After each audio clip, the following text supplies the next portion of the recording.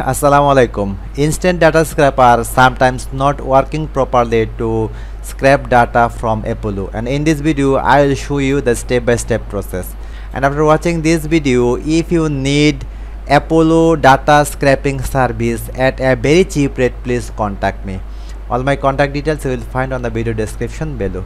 So friends let's start the main tutorial so this is the apollo uh, data uh, this is the apollo dashboard where i have saved all the data. I mean here you see total uh, 700 data i have saved from net new section to the save section.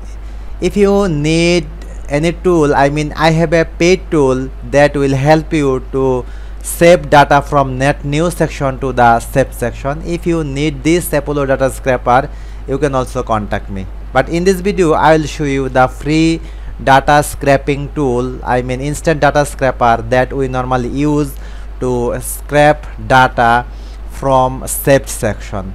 So this is the saved section here and I want to click on here okay? Okay I just click on here. And when I click on instant data scraper I found here uh, the total 25 data has been scraped here. These are the all thing you will find here now just after doing this one okay after doing this one here just click on here. You don't need to do anything here. Just minimum delay make it 3 second okay? Then click on here click on start crawling okay?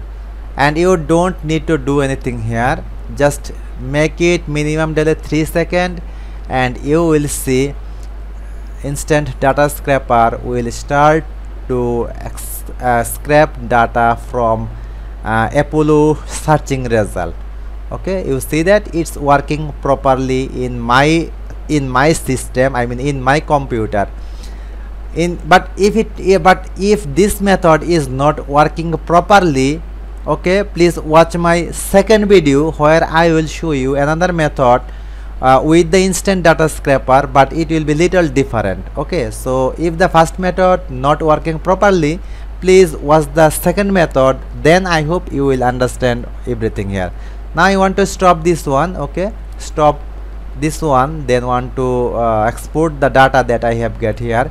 I want to export the report in csv or in excel. I always prefer csv okay want to uh, this one and want to open this one okay? What we have get here.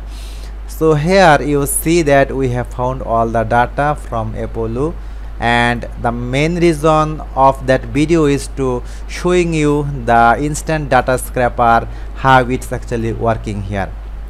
So in my system it's working perfectly and i hope uh, you will try this one. And comment on my video what is the problem you are facing while you are scraping data using instant data scraper from apollo? And of course if you need apollo paid account uh, at a cheap rate or Apollo data scraping software at a cheap rate please contact me. Thank you so much for watching this video